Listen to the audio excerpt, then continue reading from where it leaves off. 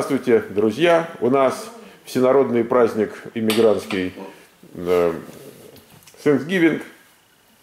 Э, в, это время много-много лет назад, несколько веков назад, наш брат, э, иммигрант, пилигрим, в сущности, значит, оказался в Соединенных Штатах и был привечен индейцами. Ну, год они прожили, в общем, с горем пополам.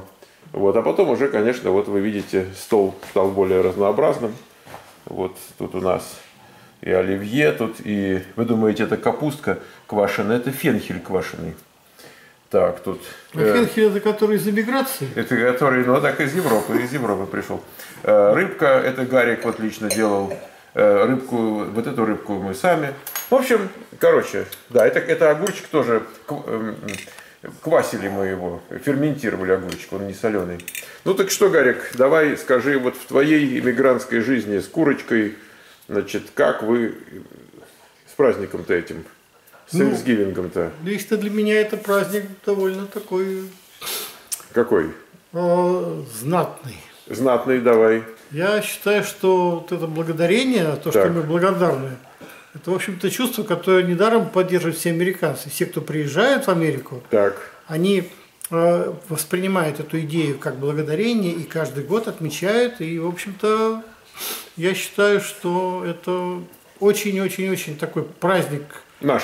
Наш. Он такой же, как раньше мы отмечали 1 мая, 9 да. мая, День революции. Вот он такого уровня. Так, мы хорошо. Не ходим Но вот в вашей семье вы как справляете?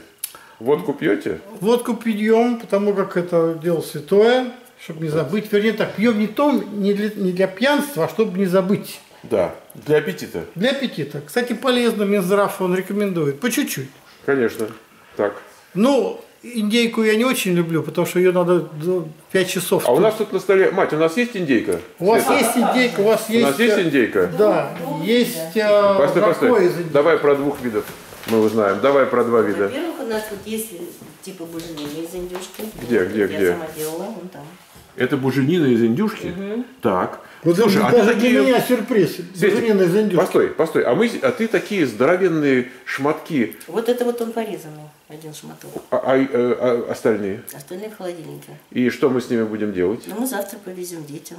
Понял. То есть у нас индюшка и присутствует. Да, вот у нас есть еще это жаркое из индюшки. Давай посмотрим. Это скороварка. Это не скороварка, это медленно варка. А, это, это opposite. Это, это opposite. opposite. Да, покажи медленно варку, что внутри. Локпот.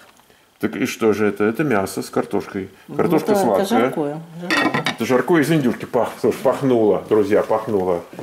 А, Света, ты прямо, знаешь, выглядишь как школьница в этот день светлого праздника Thanksgiving. Так, не, не, окей. Подожди, не надо было там фарточек одеть, чулочки такие в сеточку. Да хотя бы губы накрасить, чтобы ходил причесывать. Да, мы, друзья, мы еще не все собрались, еще не все собрались, у нас тут еще подойдут люди. А так пока что вот мы подумали, пока никто туда ложками своими э, и пятернями не стал значит, залезать. Свет, а икра будет? Нет. Нет, не, но икра есть, икра есть. Икра замороженная. Не успели разморозить, так можно сказать. Ну, есть еще в баночках. Мне подарили. Э, Баночку икры? Две. Повезло. Две. Одну чего? красную, одну черную. Лю- люди пришли, вот из России приехали и подарили. Хотя игру вроде бы здесь купили. А ты знаешь, что сейчас, оказывается, икра в России дороже, чем здесь, в Америке? А как так бывает? Вот так стало, Миш. Наверное, Жизнь они тяжелая. покупают здесь на доллары и там продают на рубли. Нет. А почему? Потому что стали больше отлавливать лосося здесь в Америке? В Америке, вокруг Америки, чем лосося, который идет в Союз. И поэтому там дороже красная икра, чем здесь. А да. черная? А черная надо спросить вот у директора икорного завода. Черная икра дороже, чем в России, Ира, или нет? Дороже. Оля маме отсюда возит в Москву. Представляешь, у нас есть знакомый, у которой мама, мама в Москве, да. маме 90 лет, она да. ей привозит баночку икры. В общем, друзья, если будете думать над вопросом о том, что привезти из Америки там, в Российскую Федерацию, везите икру. Икру, да. Раньше, когда вот мой приятель ко мне в гости приезжал, привозил мне банку икры, там было дороже. А за 15 лет ситуация изменилась. Теперь мы везем туда икру. Там... А, а они сюда что везут? А что оттуда можно вывезти? Все, подожди, людей можно, ну а кроме этого? Но кроме... Я, да- а, еще наши русские семьи везут какие-то русские лекарства, типа волокордина, Да. типа каких-то таких на, на травах. Которые здесь по рецепту. Антибиотики разве можно А так возить? здесь? Там без рецепта. А Нет, а зачем? А зачем? Здесь дороже, Ну, Светка. Для То есть люди как-то смотрят, где деш- дороже, где дешевле, и То есть это везут антибиотики, которые там без, Здесь, без пойти- рецепта. Пойти к врачу, Я понял, заплатить деньги, чтобы получить рецепт на антибиотик. Они экономят, кто походит к врачу и лечится своими антибиотиками. Ну, а вдруг они что-то не то делают? Ну, пол России это делает. а нет так. такого, что вот выпил не тех антибиотиков и нет человека? Конечно. Ну, я не знаю, может и быть, но они привыкли э, к своим антибиотикам, э, к своим каким-то антивирусным лекарствам. И все время вон на том же э, Фейсбуке все время ходят девочки, у кого осталось такое-то лекарство. И девочки говорят там типа, да, у меня осталось, ну, на приходи, самом деле, дам. В этом есть истина, потому что когда еще мы жили в России, самым Да. лучшим лекарством от кашля был бромгексин. Так, Оказывается, он продается в Сан-Франциско, в русской аптеке. в русской аптеке. И уже вот спустя сколько лет мне при- кто-то привез его из Сан-Франциско, и вот я сейчас болела, действительно, он Свет, лучше, потому- чем американский. Потому что там ингредиенты есть нек- э, некоторые в этом бромбигексине, равно как и в волокордине, которые в Америке запрещены. Знаешь, что в волокордине суще- э, э, активный ингредиент, он запрещен, в принципе, он здесь прице- э, э, приравнивается к э, стероидным наркотикам, которые спортсменов, когда тестируют, он banned, он запрещенный. А чего же люди Поэтому не тестируют? Они Были случаи уже, когда люди э, пили волокордин, а тут им устраивались на работу и проходили э, анализ крови на наркоту.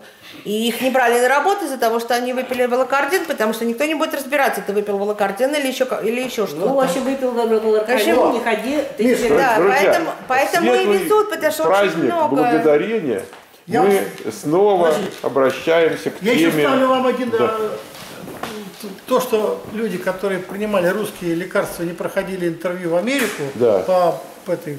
по голове. Да, то тогда... Вот. Подожди секундочку. Тогда стали русские привозить с собой папиросы. И стали курить папиросы, их тоже перестали брать на работу, потому что думали, что это гильзу, набиваешь туда траву и куришь. Не, Да. не в этом дело. У нас был, был такой случай, кстати. Э, Чувак, по-моему, чуть ли не во Фрименте жил. Он тоже, чтобы сэкономить, привез с собой кучу беломора чтобы не покупать первое время А именно э, Беломор сигареты. хотел? Именно Именно беломор. Вот Беломор, он купил, э, любил беломор. Он привез беломор. А Они как бы, естественно, все, кто курил траву в России, они все покупали беломор, высыпали оттуда табак и набивали его э, травой. Короче говоря, а тогда еще можно было курить в ланчрумс, да, это там начало 90-х. Еще не надо было никуда выходить. И вообще не было запрещено. И вот он сидит в ланчрум после ланча и курит свой беломор.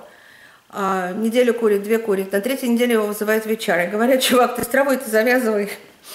Он говорит, с какой травой? Говорит, у меня, говорит, папиросы русские. Он говорит, я не знаю, что у тебя там, но ты вот это вот больше на работе не кури. На- Люди жалуются, что ты куришь траву на работе. Ну, они он пахнет и выглядит точно как, как бы джойнт, Друзья, да? если кто-то любит папиросы, переходите на герцеговину флор. Да. А с этим делом тоже строго тут. Да. И, кстати, маковые пироги, да, тоже говорят. О. Там, если устраиваешься на работу за две недели до этого, не ешьте там маковых пирогов, не принимать будет как волокордин, с там, не курить русские папиросы. Не надо рассказывать.